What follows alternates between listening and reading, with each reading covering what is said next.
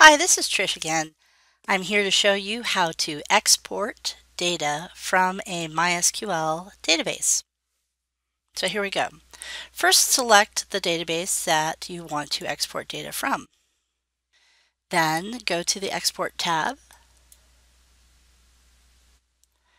Now click Custom. Format should be SQL. Here's all the tables, the data, the structure, all that stuff should be checked.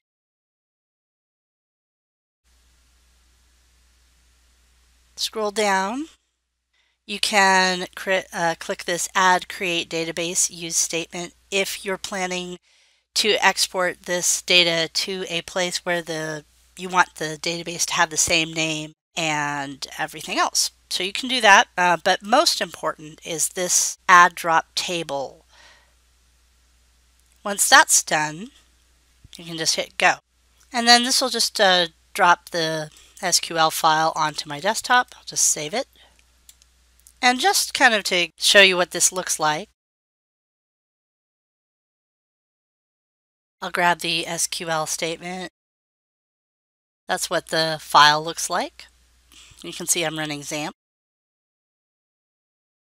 And if I open this with Sublime Text, you can see here's all of the commands that it will give to the database. Now what's important about this uh, add drop table, basically if you want to update your database, let's say you're going from home to school and from school to home, and if you make any sort of changes or updates in your database, that way it, you can keep your data consistent. So drop table, if exists, allows you to re-import that data into a new table. It'll get rid of the old table and create a brand new table. So that's why that's important.